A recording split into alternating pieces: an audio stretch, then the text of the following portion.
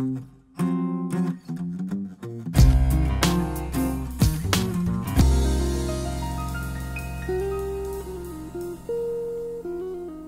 número regimental, declaro aberta a quinta reunião extraordinária da Comissão de Assuntos Municipais e Regionalização, da terceira sessão legislativa ordinária da 19ª legislatura.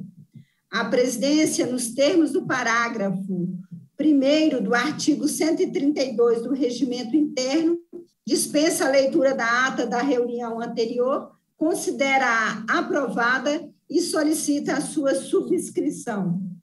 Esta reunião se destina a apreciar a matéria constante na pauta e a receber, discutir e votar proposições da comissão.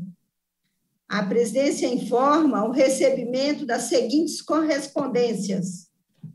Ofício do senhor Pedro José de Campos Garcia, superintendente da Secretaria de Estado de Agricultura, Pecuária e Abastecimento, prestando informações relativas ao requerimento 4.172 de 2019, publicado no Diário do Legislativo de 20 de 5 de 2021. Ofícios dos senhores Duarte Eustáquio Gonçalves Júnior, prefeito municipal de Mariana, e o Gilvan Lacerda, presidente da AMM, publicado no Diário do Legislativo de 16 de 10 de 2020 e 19 de 5 de 2021, respectivamente.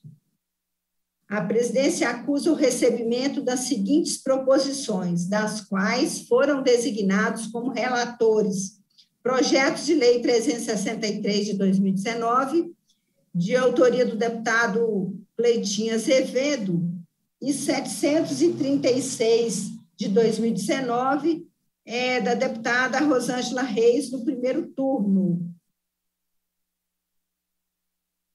É, Passa-se a primeira fase da ordem do dia, que compreende a discussão e a votação de pareceres sobre proposições sujeitas à apreciação do plenário. É, eu indago o relator se está em condições de emitir o parecer. É, o parecer ele foi passado para o deputado é, fazer a leitura, Fernando Pacheco. Com a palavra, o deputado Fernando Pacheco.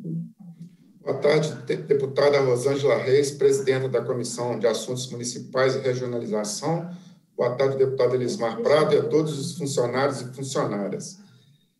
É, presidenta, assim leio o meu requerimento. Excelentíssimo senhora presidenta da Comissão de Assuntos Municipais e Regionalização, o deputado que este subscreve na condição de relator do projeto de lei número 363 de 2019, de autoria do deputado Carlos Pimenta, que dispõe sobre a política de apoio aos municípios afetados por grande circulação de pessoas em virtude de bens do Estado, requer a Vossa Excelência, nos termos do artigo 301 do Regimento Interno, seja a proposição baixada em diligência à Secretaria de Estado de Governo para que essa se manifeste acerca de eventual impacto da matéria, caso seja aprovado, sobre a operação dos parques, balneários e hotéis de propriedade do Estado e sobre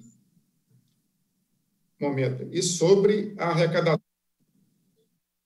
estadual e se o substitutivo número um proposto pela Comissão de Constituição e Justiça sanearia esses possíveis impactos. Sala das Comissões, 16 de junho de 2021, deputado Fernando Pacheco. Este é o em discussão o projeto. Ah, obrigado, deputado. Em discussão o projeto.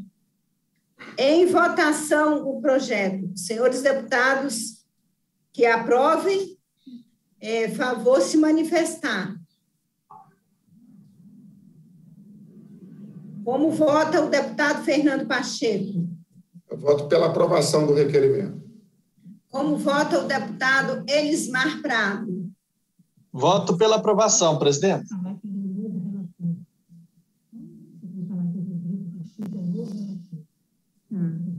É, deputada Rosângela Reis vota pela aprovação ao projeto. Eu quero aqui destacar que o deputado Fernando Pacheco, ele é o novo relator do projeto de lei é, 363 de 2019. Pela ordem, presidenta. Pela ordem, com a palavra o deputado Fernando Pacheco.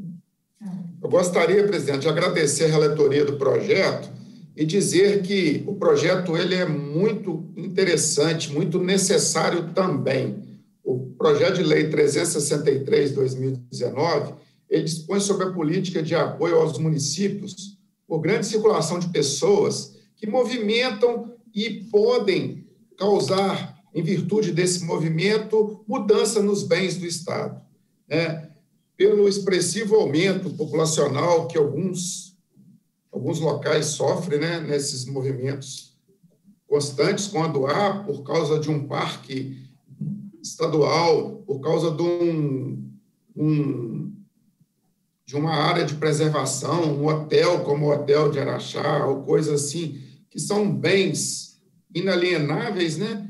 eles precisam também de uma é, apropriação para manter a estrutura, para cuidar do saneamento, da limpeza. Então, esse projeto ele é muito necessário porque muitas realidades são mudadas em função desse grande movimento de massa de pessoas que não foram programados para ser feito da maneira como é feito e quando é feito fica o município com o ônus da segurança, da limpeza, do, da reparação do, dos, danos causados, né? Então, tudo isso é um momento de fazer uma assertividade do patrimônio, seja natural ou do patrimônio cultural, é, que carrega nas nossas cidades riquezas que tem que ser preservada.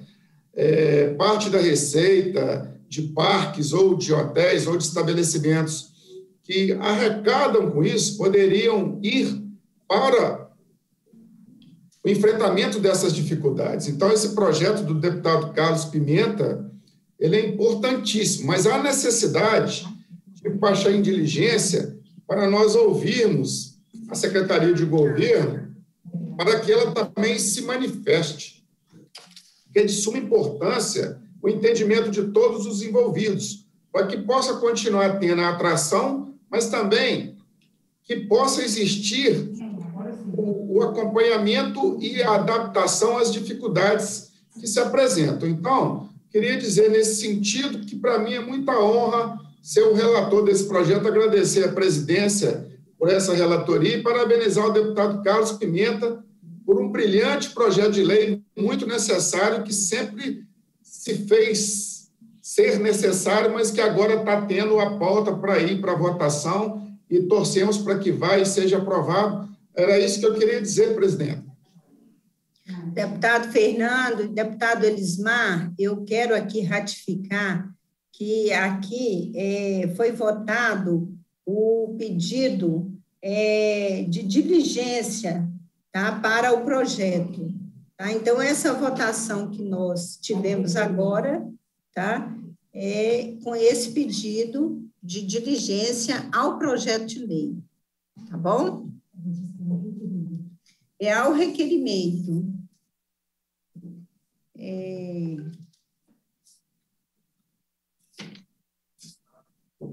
Passa-se a segunda fase da ordem do dia, que compreende a discussão e a votação de proposições que dispensam a apreciação do plenário eu indago os deputados se podemos votar em bloco os requerimentos apresentados. Deputado Fernando Pacheco. Estou de acordo, presidente. Vamos votar em bloco. Deputado Elismar Prado. Estou de acordo, presidente. É, requerimento de número 7.771 de 2021, de autoria deputada é, esse eu vou ter que passar. Vou ter que passar a presidência dos requerimentos. Eu vou votar os outros e aí deixo esse, esse aí para depois, por último. É, requerimento 7.777, também é de minha autoria. Requerimento 7.959 de 2021, de autoria do deputado Bosco. 7.966 de 2021, de autoria do deputado Bosco. 8.107 de 2021, de autoria do deputado Tadeu Martins Leite. 8.193 de 2021, de autoria do deputado Duarte Bexi, 8.204 de 2021, de autoria do deputado Bosco, é, 8.205 de 2021, de autoria do deputado Bosco, 8.210 de 2021, de autoria do deputado Bosco, 8.211 de 2021, de autoria do deputado Bosco, 8.220 de 2021, é, de autoria do deputado Vitor, é, João Vitor Xavier. Em votação, os requerimentos pelo processo nominal de votação. Como vota o deputado Elismar Prado? Voto sim a todos os requerimentos, presidente. Como vota o deputado Fernando Pacheco? Voto sim pela aprovação dos requerimentos em bloco, presidente. Eu também voto sim pelo, pelo aprovação dos requerimentos. É, eu passo a, a presidência para o deputado Fernando Pacheco para apresentar requerimentos de minha autoria é, para aprovação, seria o requerimento, deputado 7.771 de 2021 e 7.777 de 2021. Quero pôr em votação nominal os requerimentos em bloco citados pela deputada Rosângela Reis, que é autora dos mesmos. Como vota a deputada Rosângela Reis?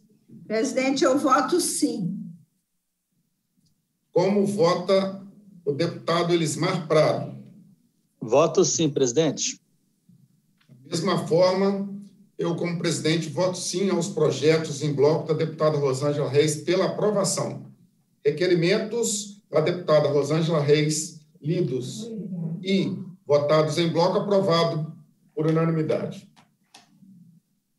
Ah, ótimo a presidência passa a terceira fase da ordem do dia, que compreende o recebimento, a discussão e a votação de proposição da comissão sobre a mesa os, os seguintes requerimentos. É, como é, tem dois requerimentos de minha autoria, eu passo a presidência para o deputado Fernando Pacheco, para que eu possa apresentar os requerimentos é, excelentíssimo presidente, é, nos termos regimentais, seja formulado manifestação de pesar pelo falecimento do ex-deputado estadual José Milton de Carvalho Rocha. E nos mesmos termos, requer seja formulado manifestação de pesar pelo falecimento de José Normando dos Santos. São esses requerimentos, presidente. Perfeitamente. É, coloco em votação os requerimentos de pesada da deputada Rosângela Reis. Como vota a deputada Rosângela Reis? Voto sim, presidente. Como vota o deputado Elismar Prado? Voto sim, presidente. Eu também, deputado estadual Fernando Pacheco, voto a favor dos requerimentos de pesada da deputada Rosângela Reis é, requerimentos de pesar aprovado é, por, por, pelos votos dos deputados. É, devolvo Agradeço. a palavra à presidenta Rosângela Reis para que assuma os trabalhos como presidente da Comissão de Assuntos Municipais. Agradeço deputado Fernando Pacheco e tem mais um requerimento aqui a ser apresentado e ser votado, de autoria do deputado Charles Santos, é, o deputado que subscreve nos termos regimentais, seja encaminhado ao diretor-presidente da Companhia de Saneamento de Minas Gerais pedido de informações acerca do alcance e implementação do tratamento de água e esgoto no município de Caratinga, bem como os critérios de cobrança das tarifas de água e esgoto incidente aos usuários de Caratinga. Em votação o requerimento. Como vota o deputado Fernando Pacheco? Voto sim pela aprovação, presidente. Como vota o deputado Elismar Prado? Voto sim, presidente. Eu também voto sim. Portanto, estão aprovados o requerimento.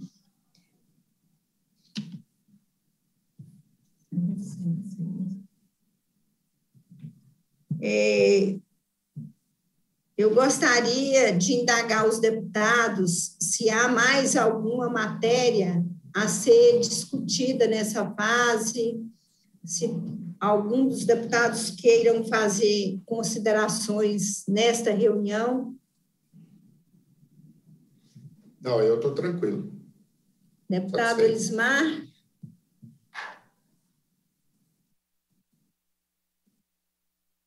É, eu gostaria de. Deputada. Pode, pode falar, deputado. Só aproveitar a oportunidade, como nós estamos na reunião de assuntos municipais, então a gama de assuntos é, é bem grande, né, de assuntos de interesse dos municípios.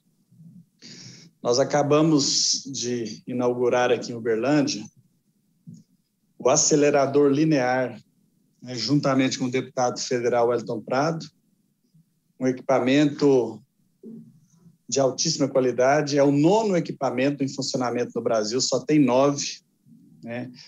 É um equipamento que faz é, o tratamento do câncer, né, de radioterapia, com uma precisão realmente incrível, promovendo maior conforto né, para os pacientes. Então, foi um momento assim muito especial e queria apenas parabenizar a todos os envolvidos, né, os diretores, os servidores lá do Hospital do Câncer e destacar né, que o deputado federal Elton Prado assumiu a presidência né, da comissão é, que vai tratar exclusivamente dessa temática né, do enfrentamento ao câncer. É a primeira comissão a se dedicar exclusivamente a esse tema. E o deputado Elton Prado, de maneira meritória, né, por toda a dedicação, empenho, né, que já conseguiu mais de 70 milhões de recursos para todo o Estado, todos os hospitais do câncer do Estado recebendo esses recursos ele assume essa presidência tão importante da Comissão de Enfrentamento ao Câncer. Então, queria deixar aqui o registro, parabenizar, né? E, e, parabenizar, sobretudo, ali todos aqueles servidores, médicos e o grupo Luta pela Vida, né? Que trabalha incansavelmente ali é, no sentido de salvar vidas, né? Então, participei hoje dessa conquista, foram investimentos na ordem de quase 13 milhões de reais, só o acelerador linear ele teve um custo de mais de 6 milhões. Então, parabenizar o deputado Elton Prado e todos os que participaram na manhã de hoje aqui em Uberlândia, lá no Hospital do Câncer. É isso, presidente. Muito obrigado, viu? Deputado, eu quero parabenizar Vossa Excelência pela atuação que vem desempenhando aí na Assembleia, juntamente com o deputado Elismar, é, o Wellington Prado na Câmara Federal. Né? É muito importante que possa aportar os recursos para o tratamento né, da, desta doença do câncer, e nós temos que buscar mesmo né, que aparelhos avançados, aparelhos de ponta, que realmente possa é, dar maior celeridade na identificação do diagnóstico porque realmente a gente vê as pessoas aí procurando o diagnóstico, esperando por meses e meses, e às vezes com um aparelho desses consegue-se resolver né, o problema, identificando no início, porque essa doença é dessa forma, quando se identifica mais no início, a capacidade do tratamento, ela sendo mais rápida, consegue se salvar ainda muitos pacientes, muitas pessoas, né, muitas vidas. Então, eu quero parabenizar vocês. Obrigado, presidente, obrigado. Nós estamos juntos aí, irmanados, com esse mesmo propósito né, de salvar vidas e de ajudar ao próximo. Né? Isso não tem cor partidária, nem ideologia, realmente é uma luta pela vida. Tá? Muito obrigado, viu, presidente? De nada, Elismar. E o que eu queria é verificar com os dois deputados, né, o deputado Fernando e Vossa Excelência, deputado Elismar, é se vocês têm algum requerimento é, na comissão, né, para que possamos aí realizar as audiências públicas e que possamos já marcar essas audiências, fazendo uma programação da agora para frente. Então, eu gostaria de verificar com vocês, né, para que nós possamos aí já fazer essa agenda para os próximos, as próximas semanas, eu estou à disposição para marcar essas audiências. Entendido, presidenta. Eu vou verificar junto à assessoria se nós temos essas solicitações, né, aí que são é, identificadas com a comissão. E aí remeto é, aí para a nossa, pra nossa assessoria e aí para os membros da comissão, tá, presidente? Eu vou verificar. Tá Agradeço. Tá. Presidente, eu também, da, me, da mesma forma, eu quero é, aproveitar essa oportunidade aí e vou agregar aos assuntos da municipalização e da regionalização requerimentos, sim, com certeza, e se possível, até audiências públicas também, de uma forma que a gente possa fazer virtual, né? Porque até então está tudo meio restringido, mas a gente tem sim um planejamento. Eu vou tentar antecipar as informações para a gente construir uma agenda junto com a, a presidência para que possamos ter, né, a discussão de assuntos municipais ao longo do, do ano e ao longo do momento, né? Porque uns momentos críticos aí que a gente tem que estar tá disponibilizando mais alternativas para o enfrentamento às dificuldades que acabam sempre, né, presidente, estourando nas cidades, né? É, seja o problema saúde, o problema falta de emprego, renda, as questões estruturantes e o processo, né, que sempre sobrecarrega os municípios. Então, eu irei estar tá passando para as consultoras toda nossa nosso desejo para que isso também possa ser uma vontade da comissão como um todo, e eu me proponho a planilhar isso e a fazer um plano de, de não só requerer as, algum, alguns é, pedidos, mas também fazer algumas audiências. Então, pode ter certeza que terá minha participação, presidente. Ah, está ótimo, Fernando. Quero agradecer vossas excelências pela participação aqui desta comissão, né, da reunião que houve. Agradecer também à equipe técnica que está aí do outro lado, né? Agradecer a todos vocês aí, pedir desculpa aí a nossa correria aqui, né, tentando aqui dar celeridade, mas retornamos aqui à pauta dentro aqui da programação. Então, obrigado aí a vocês. Cumprida a finalidade da reunião, a presidência agradece a presença dos parlamentares, determina a lavratura da ata e encerra os trabalhos.